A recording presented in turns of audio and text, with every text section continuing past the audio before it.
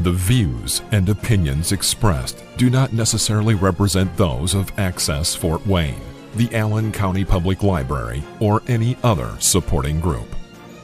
If you or anyone you know might be interested in making a television show, please call 260 421 1250.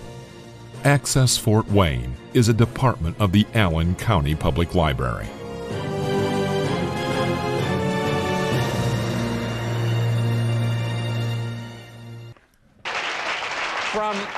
From my home state, from Indiana, Fort Wayne, Indiana.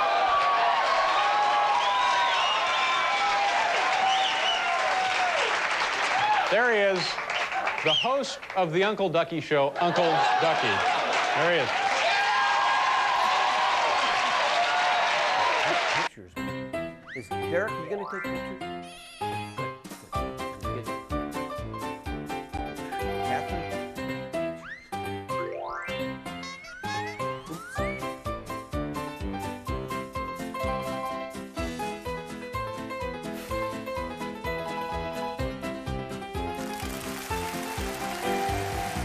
And now, ladies and gentlemen, from his farmhouse in Allen County, Indiana, the host of the Uncle Ducky Show, the one, the only, Uncle Ducky. Good evening, ladies and gentlemen. Good evening. And welcome to our farmhouse in Allen County, Indiana. Wait a minute. Where's Mrs. McHenry, Mr. McHenry? Well, Uncle Ducky, Mouth up and down. she is, uh, sh- excuse me, this weekend's the annual Spring Farmers Bake in Allen County.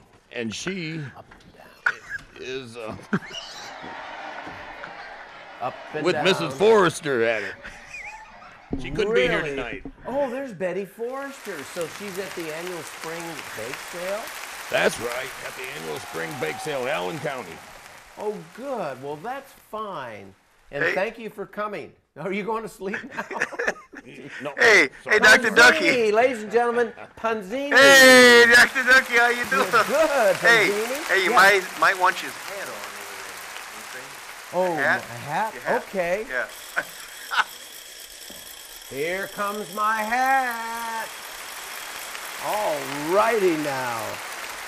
Hey, that looks pretty. That's better. How's that look? Oh, that looks pretty pretty Good, dapper. good. I think it's pretty dapper. Dapper, good.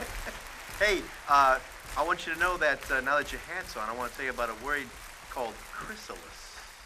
I've never heard of it. Yeah, well, you never heard of it? No. Well, I'll tell you later uh, what it what it means and everything. But uh, we should probably do something about the clock and everything right now because uh, we're kind of running along here. We're running long. Okay. I wonder who's going to set the clock. Sharon? Hello. Hello, everybody. This is Grace. Uncle Ducky, this is Grace. And she's going to set the clock at 9 p.m. 9 p.m. Your clock.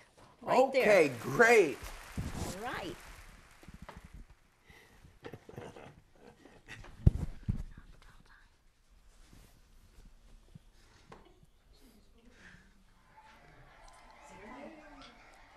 Ducky, you mean during the tell time. Yeah.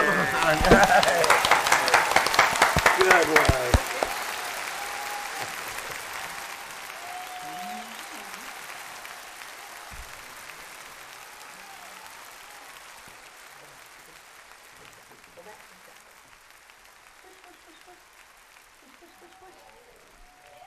Wow, Grace! Well done. Yeah. Thank you, Grace. I appreciate that very much. And thank you, Grace, for Okay. setting the time properly. You want to hear a butterfly joke, Grace? Grace, you want to hear a butterfly joke? Okay. Why didn't the butterfly go to the dance? I don't know. Why did the butterfly? Why didn't it was the a butter- mothball. Oh, I didn't get my straight line. Okay. And Okay. what do you call a cheap butterfly? I don't know. What do you call a cheap butterfly? A margarine fly. Margarine fly. Thank you. Thank you for being on the show, Grace. Thank you, Sharon. Thank you. Thank you.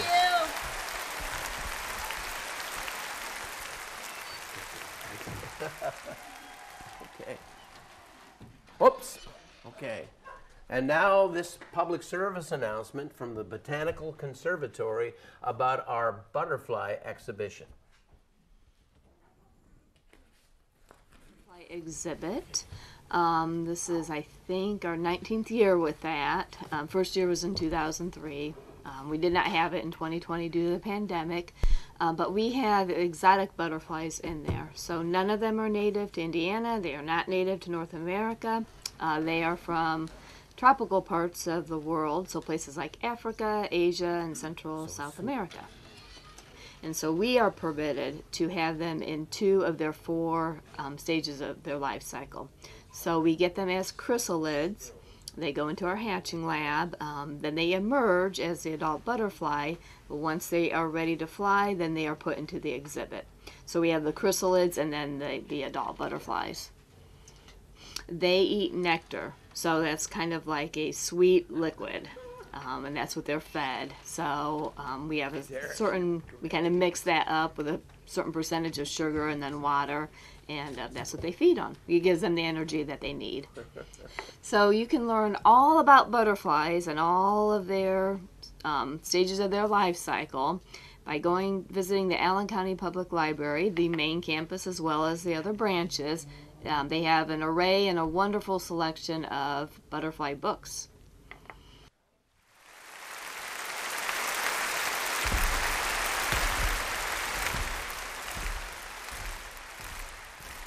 Okay, thank you very much. And Norm, thank you for going with me to the uh, conservatory to do that public service announcement. Now we have a special guest on our show. His name is Boston Strong. Ding dong. No, ding. Ding dong. okay. And Boston works with me at the YMCA, and he's an expert on moths and butterflies. Okay?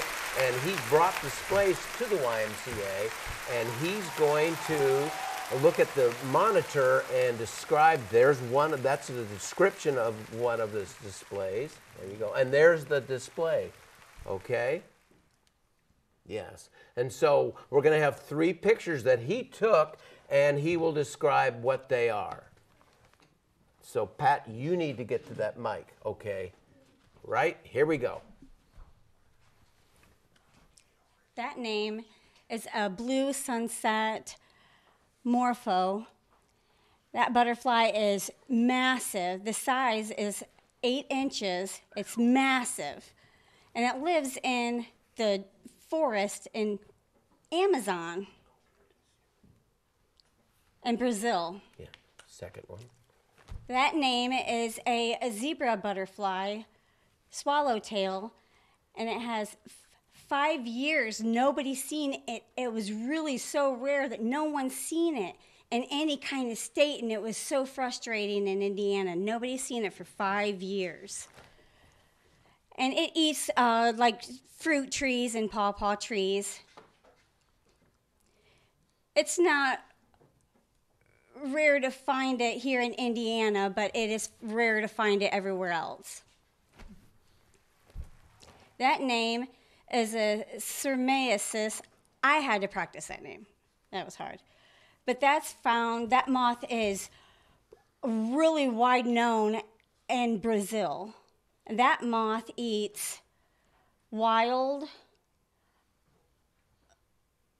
Oh, it's a, it's, it's a cousin of a, tr- fam- really famous tree, and it has a really, really long tail. And bats get confused with it because it's so long and fluttery that the bats accidentally grab things without it actually grabbing the tail, and that's how it protects itself. Tell him thank you for being on our show.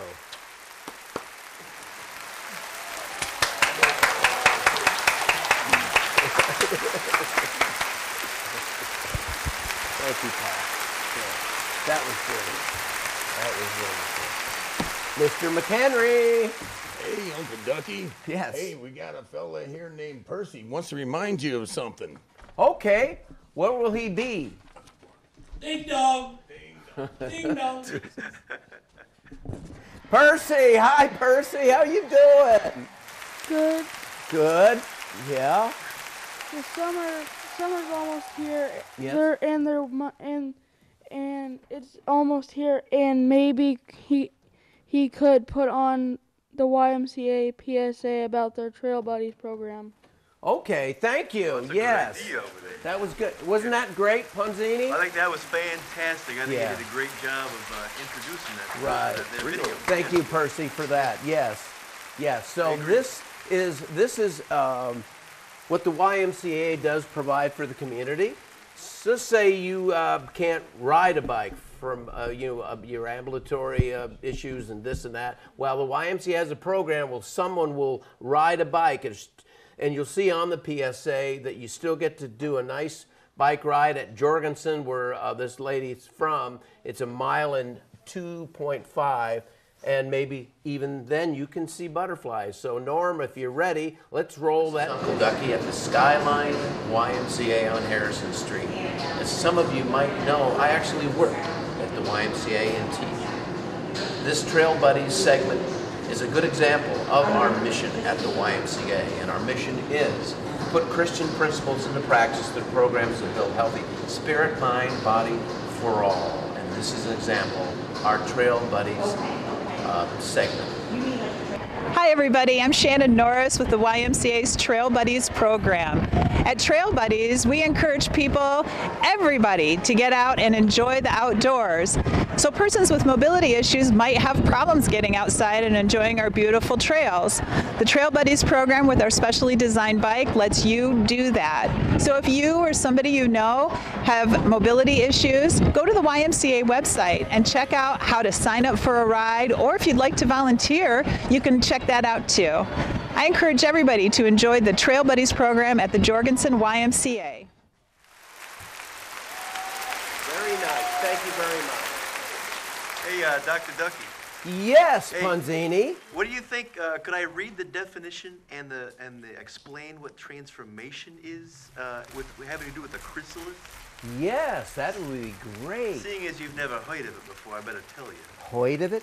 Yeah, you know where I'm from, right? Heard, yeah, from the Bronx. From the Bronx. It was it was uh, tough tough to, to grow up there, but I did a lot of reading. You know. Yes. Brought myself uh, over here.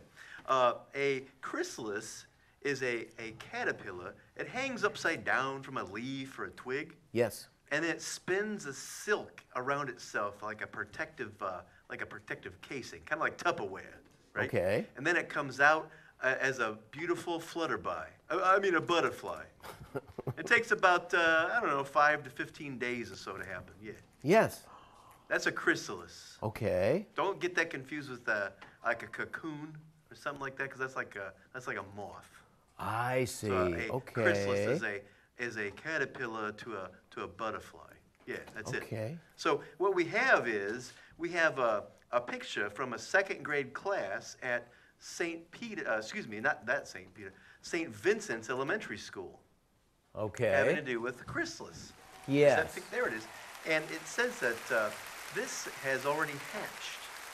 This, this in this picture here. Right. Yes, and we'll yeah we'll show that from uh, Saint there yeah Saint Vincent's uh, Elementary School their second grade class that was one of their projects and lo and behold before the show it actually they released the uh, butterflies to the wild.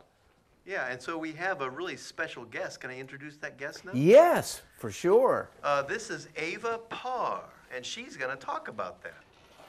Okay. Now, we'll, where will you get the books from? The farm.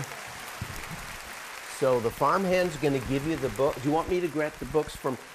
There's one, Ava. There's another one, Ava. I'm going to hold it so you can do a close up on it. There you go. Okay, and then one more book. You want to zoom in? There you go. Okay, Ava. If you want to learn more about butterflies, go to your local library and check out books like these. Yeah. Thank you, Ava, for coming along today. Thank Thank you. you, Ava, for being on our show. Thank you very much. And in fact, Ava is in that class that took the chrysalis and then it became butterflies from the elementary school St. Vincent's. Wow, that was great. Doorbell. Oh, here we go. Yeah, that's our manager. Back. Where are you going? Hey, Jeff. No. Wait, which one are you doing? Uh, turn it around. Thank you. Hey, Jeff, do you call a. What do you call a stick of butter with wings? I don't know. What? A butterfly. Oh, that's good. That's good. Yes, Where's that's our good. drum roller?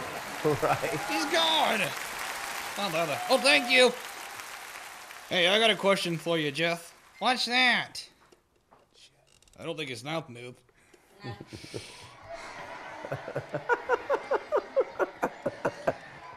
New helping hand.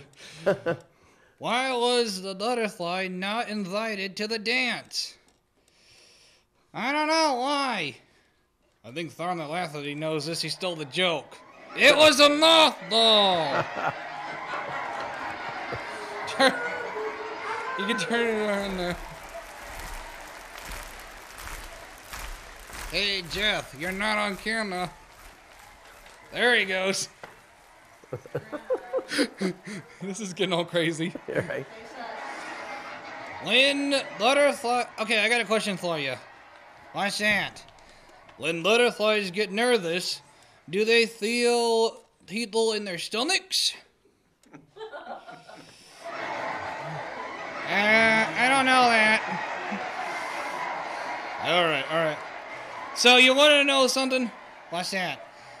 My son asked, Dad, every time a girl, I ask a girl out, I always get butterflies in my stomach. What should I do? Well, uh, well, you know what I did? What'd you do? I gently put my arm around him and replied, That's easy, son. Stop eating caterpillars! and that's all for the night, folks. Oh, and by the way, meet our new manager, Jeff Dunham. Hiya, boys and girls, I'm back. it's been a long time. Thank you for being on our show. no problem. And thank you for helping us out. right? Ducky, Ducky. Oh, yeah. Yes, my conscience. What's that? Well, uh, it was nice of you to have Benny Feifel on a recent show playing his vi- violin. Yes, thank you. And Benny realizes it'll take a lot of perseverance, that's a big word, perseverance, to become proficient on that instrument. And uh, so he m- wants to come out and read a PSA about not giving up to inspire your audience. And my conscience, uh, you mentioned that maybe I misspelled the word perseverance in the script. Well, I just wasn't sure that you understood such a big word like that. Thank you. All right. And, and Hey, here he yes. Yeah, I think he's at the door. Here's uh, to tell more about perseverance. Here's Benny! Benny! Yeah. Here you go, Benny. There you go. Right up to that microphone. There you go. There you go. There you go. Don't quit trying. If you quit now, you'll end up right back where you first began. And when you first began, you were desperate to be right where you are now. Keep going. Yes, that's good advice. And Betty, Ducky, Ducky, Ducky, did you know that there are a lot of butterflies that are attracted to flowers? Oh, what kind of flowers are those, my conscience? Well, there would be uh, milkweed Milkweed, yes. and zinnias Zinnias? and black-eyed Susans. Black-eyed Susans. How did you know that? Uh, because I have a script that says that. right. Yes, Pranzini. Yeah, I think uh, I think it's taken a lot of perseverance to just get through this show. Right, right. Yeah. That's it. Oh, that's it. Okay. All right. Good. So McHenry has to bring out a chair, and he's not here. So Oh. Lee, who I work with the YMCA, is going to play a song, and he would like to have everyone join in. If they want to come out and sing the song, it's a railroad song. It's a group participation. Group participation. So come on out, everyone, if you want to sing it. She'll be coming round the mountain when she comes. She'll, be coming round the mountain when she comes. She'll be coming round the mountain. She'll be coming round the mountain. She'll be coming round the mountain when she comes. She'll be driving six white horses when she comes. She'll be driving six white horses when she comes. She'll be driving six white horses. Driving six white horses. She'll be driving six white horses when she comes. Oh, we'll all go out to meet her when she comes. We'll all go out to meet her when she comes. We'll all go out to meet her when We'll all go out to greet her. We'll all go out to meet her when she comes. She'll be coming round the mountain when she comes. She'll be coming round the mountain when she comes. She'll be coming around the mountain. She'll be coming around the mountain. She'll be coming around the mountain when she comes. Yeah. Yeah. Thank you, Lee, for being on our show. So, Ava, I want to ask you something. Can you describe what you guys did at St. Vincent's Elementary School? We took some. We had some caterpillars in a bucket, and um, there was like five and three buckets, and then we waited for a few weeks for them to get in their chrysalis, and then once they're all in their chrysalis, we put them in like a cage, and we wait for like about two weeks, and then they hatched as a butterfly, and then we waited for a per- perfect day to um release them. Wow, yeah. Well, thank you very much for being on our show. I appreciate that very much. Do you want to talk to Mr. McHenry? Mr. McHenry, do you want to ask uh, Ava something? Well, how, how long do butterflies butterflies live for? They live for about um four weeks. And can they live in the winter time too, or do they fly south for the winter? They fly south for the winter. Oh, okay. Thank you. I didn't know that. Well, thank you very much again for being on our show. That was unexpected. That's a Yes, little thank you. extra. Yes. Okay, good. Thank you, Ava. So, this time of the year is uh, Indianapolis 500 time. And we have one of our characters is Todd Allen, and he went down to the Indianapolis 500. And this is a videotape that he took while he was there. Indianapolis Motor Speedway, and Todd Allen, Todd Allen will have reports from here. I've They seen said I- that guy I didn't need a somewhere pit before. pass. You need a, you definitely need a pass to be in here. You need some kind of credentials, media credentials or something to. I can show you my driver's license. Uh, I need, if you don't have any credentials, I need you to step out of the pits. Step out of the pits. Okay. Excuse me. Let me. We're now going to step out of the pits and uh, view the action from on that side of the fence. This is Todd Allen reporting from the Indianapolis Motor Speedway. We're now on the other side of the fence, but I'm sure there's a lot of interesting interviews that we can conduct on this side. This is Todd Allen. This is Todd Allen reporting on this side of the fence. Ladies and gentlemen, Axl Rose. How you guys doing? I'm not actually Hey. Axl, but I know you're not filming this, but uh, we love Indy. Andy? Indy 500. Oh, Indy, Indy 500, yeah. Are you in the uh, tug of war contest, sir? Yes, I'm getting ready to go get in it right now. I'm going to kick some in it. Okay, we can't say Could you rephrase that? Good luck in this event. Thank you very I hope you don't get your uh, outfit all muddy. Oh, I'm sure I won't. Okay, thank you. How you doing so far? Great. Pretty good. He says she's doing pretty good so far in this tug of war contest. Pardon me, madam? What's your name? Todd Allen. And what, what are you for? I'm rooting for Bill Elliott, but he's a sedan racer. You're weird. Wow. Thank you, Todd Allen, for that report from the Indianapolis Motor Speedway. And today's May the 23rd, and on the 29th, this Sunday, uh, is the Indianapolis 500. Well, that's all the time we have on tonight's show. And please remember, be kind to one another, and we'll see you next time. Good night, everybody.